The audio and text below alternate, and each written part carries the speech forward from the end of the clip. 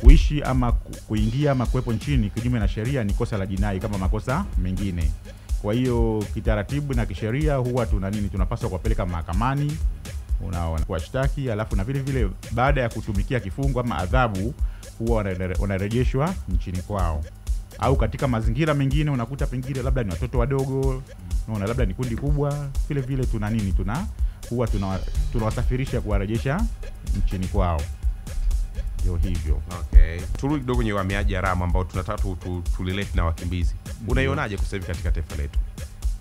um, mifumo ya, ya udhibiti wa uhamiaji wahamiaji haramu. kwa hiyo sisi kama idara ya uhamiaji tumejipanga vizuri kwenye kudhibiti wa wahamiaji haramu. Unaona. Kwa hiyo mtu anapoingia nchini kuna ofisi ambazo zipo mipakani lakini vile vile kwa hiyo mpakani kule wanachuja kule unaona? Na vile vile huwa wanakamata watu ambao wanakuwa wanakwepa kuingia nchini kwa- kwa kulingana na, na taratibu. Mm. lakini baada ya kuingia nchini vile vile kuna nini? Kuna kuna vizuizi kadhaa huwa maafisa wa uhamiaji wanakaa vingine vya kushtukiza. Kwa hiyo na vile vile wakifika mawilayani e, mikoani huwa kuna nini? Kuna maafisa wetu wadoria huwa wanapita kukagua kwenye mahoteli mitaani kwenye stendi kwenye masoko kila sehemu ili kuweza kupata taarifa za wageni ambao wapo nchini ama wameingia nchini, nchini kinyume na taratibu za kiuhamiaji. Okay. e, Tunayaona madhara ya mataifa kukubali kupokea wakimbizi? Kwa, e, kwa Eh. mtazamo wako, tunaona madhara?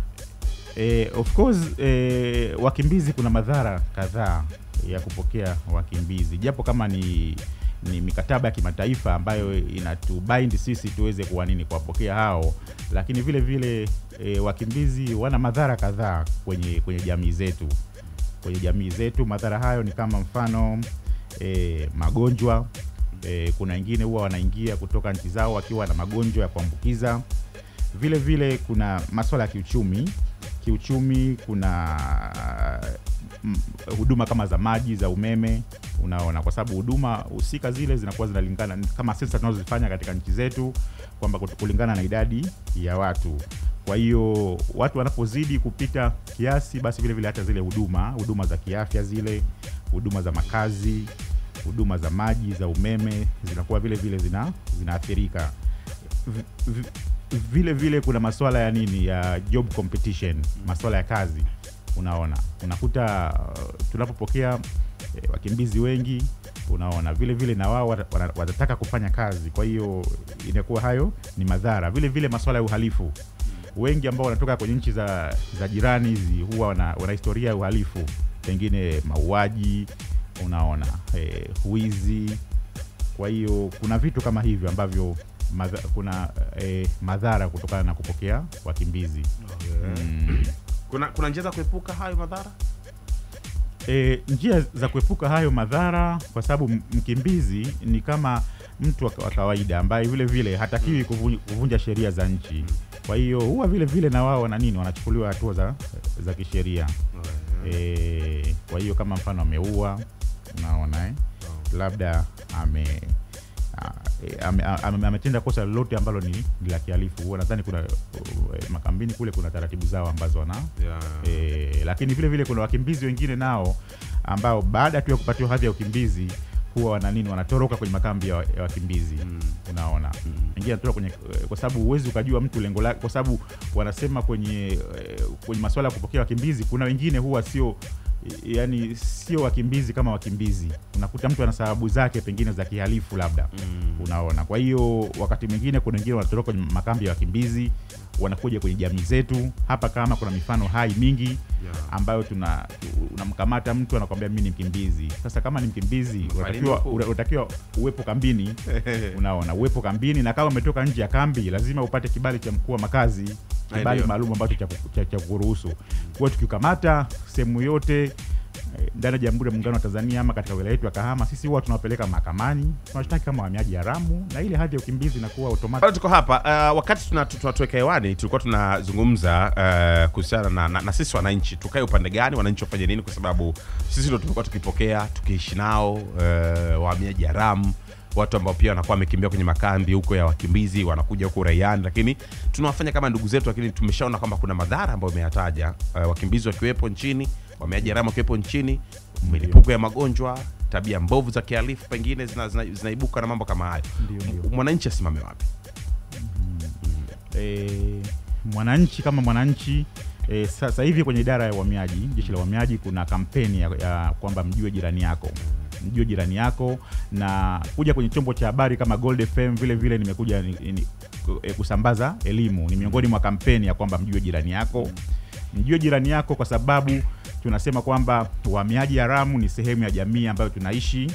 Wahamiaji haramu tunaishi nao, wengine tunawatumia tuna tunawatumia kutokana kwenye shughuli zetu za kila siku za kiuchumi. Kama kwa mfano ukienda maeneo kama Ushetu kule Mm. huwa wanatumia kwenye kilimo cha pamba na cha tumbaku. Ukija hapa mjini, kuna wengine wanawaajiri, wanawapatia pikipiki, Mm. wanawapatia baskeli, vile vile wanawapatia kazi za kuuza vitumbua, kuuza matunda, kuuza karanga.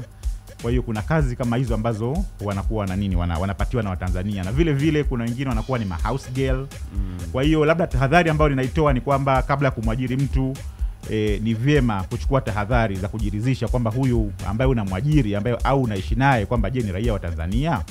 Na vile vile kwenye kampeni ya mjue jirani yako ni kwamba kwa sababu sisi maafisa wa uhamiaji tuko wachache, unaona. Kama mfano hapa kama hatuzi, tupo kama kumi na mbili hivi. Machache sana. unaona 12 13 kwa hiyo wilaya ya Kahama ni kubwa. Unaona.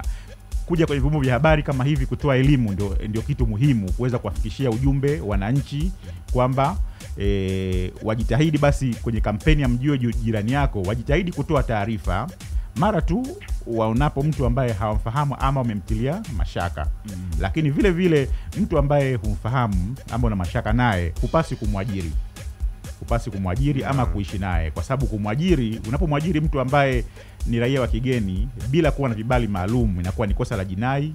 Tukikupeleka mahakamani, ukikutwa na hatia, adhabu yake haipungui laki tano faini ama kifungo kisichozidi miaka mitatu.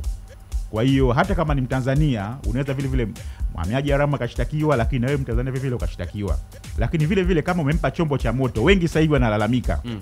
unaona kuna pikipiki kadhaa tumezitaifisha tumeomba ma- mahakama kuweza kuzitaifisha kwa sababu unakuta e, wimbi la wahamiaji haramu hapa kama ni kubwa na wengine hao ambao wanaendesha mpaka pikipiki hawana leseni unaona lakini vile vile ni, ni raia kutoka nchi za kigeni hawana vibali vya kufanya kazi kwa hiyo ili kupunguza hili wimbi wakati mwingine tunataka tutoe fundisho sio tu kwa warundi lakini vile vile kwa watanzania ambao wanawaajiri No. kwa hiyo huwa tukifika mahakamani, japo kama wananchi wanalalamika sana, lakini huwa tunaomba utaifishwaji wa vyombo vya moto hususan pikipiki.